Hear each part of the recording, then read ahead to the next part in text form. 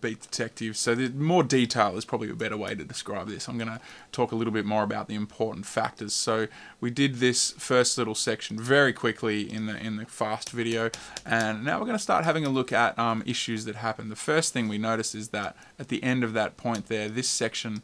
Uh, this kick drum is early. Now, this is a common problem uh, when beat detectiving drums is that the drummer is going to be quite often early, ahead of time. Um, out of time is another way to say it, and I can say it in this situation because once again, it's me. So I'm going to select this, all of the audio for the drums here, and I'm going to begin by preparing and dragging this track. I'm going to begin by preparing and dragging this track onto the click um, with the kick drum, the transient of the kick drum sitting right on that particular grid point there. So what it's doing is it's sort of, it's actually going to be bringing everything closer to the grid anyways, but it means that our first hit of this section is right on the grid. It means that we can move on confidently in our next sections. Now, I, I advise when starting to use Beat Detective that you, you just do small sections at a time, and those sections can quite often relate to what's being played on the drum kit. So here, this is all mostly kick drum parts with the occasional snare drum hit and a crash, and, and the snare drum doesn't actually kick into there. So I would look at this section here as, as you know, a style, a style of beat detective where we're mostly going to be recognizing our transients from the kick drum. And if we do want to go to the hi-hats, sure we can. That would be chopping up all the 16th notes. It's a lot more effort. Um, depending on the drummer, not always necessary. So, if we go in here and we have a quick look at these first bunch of bars, I'm going to chop up this section here by tabbing to transient up up towards the the big end of a section here. Now that crash is the beginning of the next bar, so I'm going to chop here on that transient, and I'm going to trim back so that this particular section here is exactly a, a set amount of time. And at the moment, what we have here is uh, just under four bars. So I might even actually drag this back here and chop up to that. So it's a nice even four bars. Get that sitting right on the grid go to the other end there, really make sure that I have exactly four bars in my selection there. The selection um, is important to match with your Beat Detective. So we have that ready to go. I'm going to Command 8 to bring up Beat Detective, Command 8 on your numeric keypad obviously, um, and capture, capture selection. Now this particular button captures what you have selected up in Pro Tools and makes it work down here. Now, if, if these particular numbers don't match Beat Detective and the selection, you sometimes have to, it's a bit of a glitch you could say, have to reselect the area. So I do it with my arrows and shift and click and reselect and make sure that this matches exactly. If we have that issue today, I'll be happy to show you it because it's quite annoying. So we have the selection here, uh, four bars long. We, we've captured it and then what we do is analyze. Now we can't analyze while we have the whole drum kit selected because it's going to analyze every single transient on all of those parts. We only want to analyze the, the main elements of what's being played and more importantly we want to analyze the close microphones. So the microphone that's closest to the source that we're, we're actually trying to analyze. So in this case we've only got one kick drum mic. If there was a kick in and a kick out we would choose the kick in because it's closest to the actual event that's happening. If you're um, analyzing a snare drum and you've got a snare top and a snare bottom, you would analyze the snare top because it's closest to where the stick actually hits the drum. So, um, with my group on is is there's different ways to manage this, and I usually like having the group on. And what I do is I either shift select or I option select or do something so that I can make my selection only go on the track that I want so that I can analyze it correctly. Now, if you have your uh, link track and edit selection button set, that means that if I now move my selection down to other tracks, it matches what the actual uh, nameplate is selecting. So it makes it easy to be able to go, okay, here's all my drum tracks for this section, and here now is just the kick track. So I can analyze that particular part, um, make sure that um, if you use your zoom toggle, you can check that you've got the right amount of things going on. So if I drag this right up, I'm not going to even get any other artifacts. But I need purple hits on all of my strong transients there. I'm happy. I can shift down and go and, and beat detective this next section. Uh, so we've analyzed it. We separate all of that. We clip conform. This is the fast bit, the easy bit. And we go to fill and crossfade. Okay, now that's done all of that. The common issue is that whatever selection area you did, the the join between this and the last section is not going to always work out properly for you. So you just go in there, and I use clutching by holding command and dragging, trimming back here a bit, and I'm getting my crossfade to finish just before that starts. Nice and neat to make sure that all works. So let's, um, I'll put a marker in here so we know where that point was, and let's have a listen from previous Beat Detective to this Beat Detective.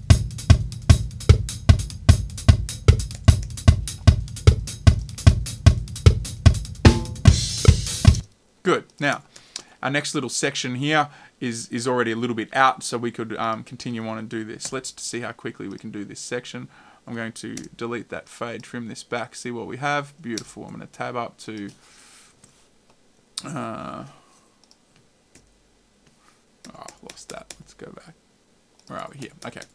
So I'm going to trim this back a little bit, tab up to that transient, grab this section um, of drums here and drag it right onto the click. Make sure I've got all the stuff selected for this track. When I do that particular point, that bit, drag it all back on. Now, the issue I just had there where it didn't all move together is because there's edits later on in this track that happened. Sometimes I find it a good way to start Beat Detective by uh, going through and actually chopping up all these different sections of the song before I even start. So I'll go through and get that section chopped up, get this section chopped up here. There's obviously a different part. Yep, different style of groove there. So let's chop that up and use these as different sections. That means when you drag them around and put them on a grid, you're not going to have to worry too much um, about messing with the second half of the song. If there's no edits later on, then you'll be fine. So that's right on. Let's see how if we let's see if we can try to do this entire section here all in one go. So clip selection, we have a little bit off on our selection here, so we need to zoom in and work out why. It's right on the start there, but the end of our selection is not perfect. So I'm going to shift select there. I'm even going to chop it so that it's a nice even selection that goes for 40 bars. Um, capture the selection there. 106, 146, 106, 146. Perfect. All right. I'm going to make sure that I only have the kick drum selected. It's the main thing that's being played here. Uh, there we go. Analyze that. It's going to take a bit longer because there's a bigger section. We can zoom in and you can even scroll through the actual hits here by using the scroll next button or scrolling through like this, making sure you don't have any extra transients being detected. And bingo. It's all looking pretty good. So let's go down here, uh, separate out all of that stuff. Take a bit longer. We're doing 40 bars all at the same time. That's a lot of edits. Clip conform. Edit smoothing. I often put a marker in here to, to once again point out where the, the next section I did started so I can go in and make sure this little edit here is perfect. What we should have is a pretty good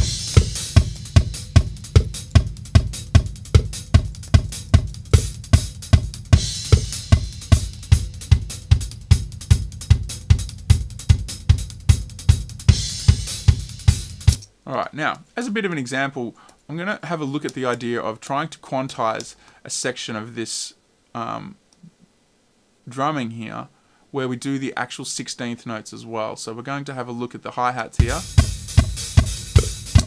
Now those ones are all a bit sloppy, so let's go back to a section here where we have the playing that's going to be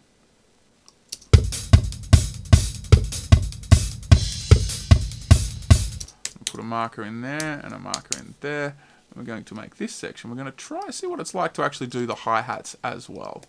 So we have almost four bars selected exactly because of this little point here. So let's just chop right there. Go to the end of this selection here. Chop this one as well. Let's just get rid of that fade is the easiest way to do that. So now we have an exactly four bar selection here and we're going to beat detective this with the hi-hats as well. So back to clip separation capture. So we have right on beat ones this particular time. We're going to get the kick, but we're also going to get the hi-hats. So when we when we do this particular section of um, zoom toggled in there, we can see the hi-hats now. So if I start, if I make sure that we're on 16ths for our everything, I can now start dragging this across and I'm going to start picking up all these extra notes. Let's try 30 seconds. Oh, got to analyze it, don't I? Yeah, here we go. So, starting to see all these extra little sections pop up. So this is now going to quantize all of the drums in, in this uh, much more detail, you could say.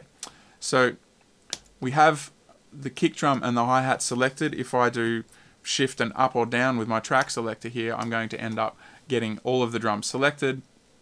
I can then separate those, clip conform, edit smoothing.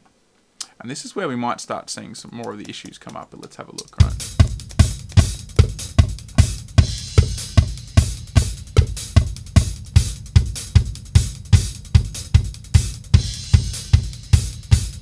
Okay, so we can hear a nice little problem in there where what we have is the hi-hat is hitting after the kick drum and we quite simply have a bit of a artifact showing up here. Now this problem happens quite a bit if you're using multiple things to um, do your analyzing from in the clip uh, separation part. So if we just trim that back there, we're usually going to um, expose that area there um, cleanly without the little artifact and it should sound better. Let's have a listen.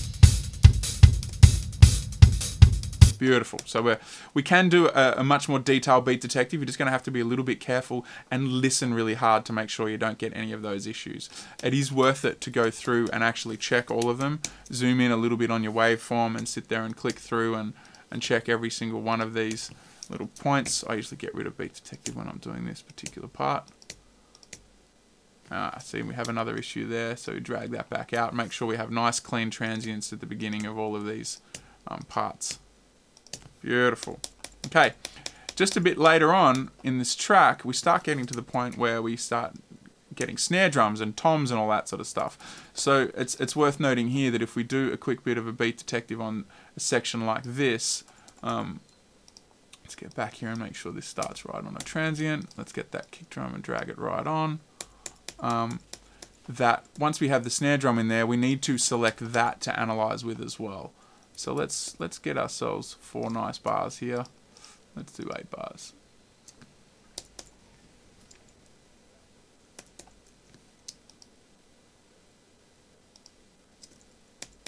Eight bars and one beat.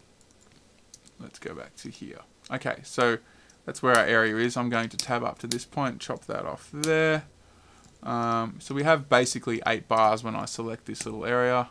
That's the way I like working anyhow.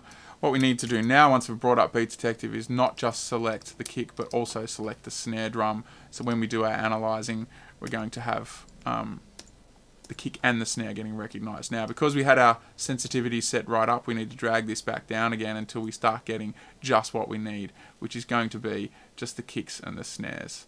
So let's zoom out a little bit more here. So we're starting to get some of these artifacts now. We've got just, you could say just a little bit too many there.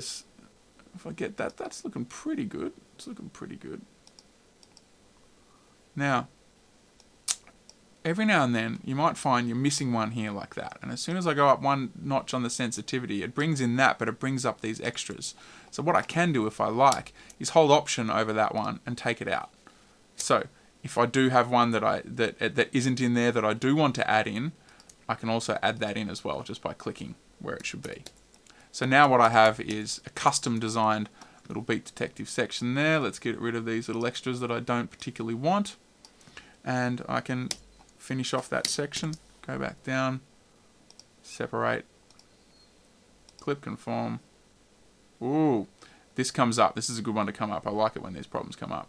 It's saying it's going to move the clips to a new location because I didn't capture selection. So let's hit capture selection now, hit conform. It's going to keep them in the same part of the song and now I can uh, do my edit smoothing. So capture selection, very important thing to do. Making sure you check all your edits and at the beginnings of each section so you don't end up with these little um, bits left over. Um, making sure you're very careful with your sensitivity and your analyzing. Choose the close microphones and there's Beat Detective for you. Um, if I miss any little bits out there, I will uh, add them to this later on. Cheers.